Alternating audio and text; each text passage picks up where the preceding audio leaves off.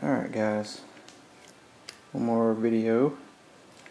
Um, I went back, I finished kind of like the upper upper section. I went back and replaced a couple, uh, I've got so many of these steel bolts in various sizes.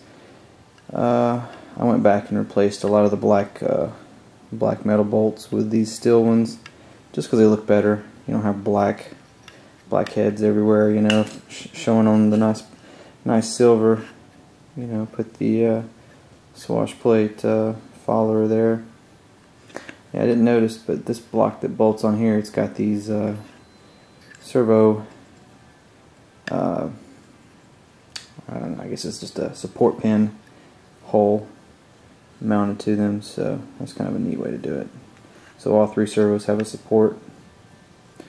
Um, yeah, other than that, I didn't run anything else. Um, I did, I did,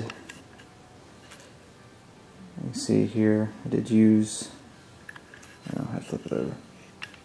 On the outer ones I used silver and then these, um, because they're longer, but they don't hit the servo, and the, uh, I didn't have enough of the, uh, the shorter bolts, so but they're uniform on both sides so it looks good. And put the uh, collar on. I kind of like this because it's easy to get to. It's real easy to, to push everything and hold it and tighten that collar like it should like you need to be. So you basically push the shaft down and push this against so you're, you're pinching it. And you just uh, lock it down like any other collar there's a bevel on one side of this collar so it hits the inside of the bearing.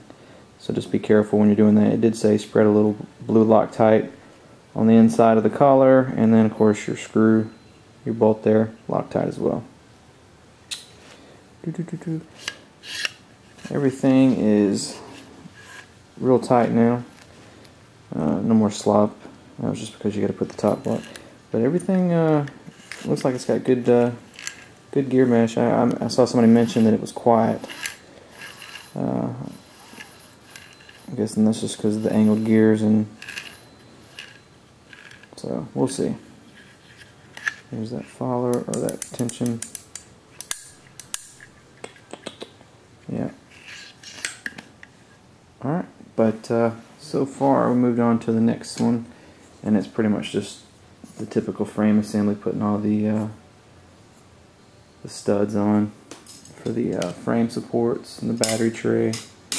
Uh, put the canopy mount on the front and that one screw in. Ah, focus. Ah, it's messing up. And that one screw there, and then the rest of it will just be fitting everything together, which is what I'm about to start on. But uh, until the next one, you guys have a good one.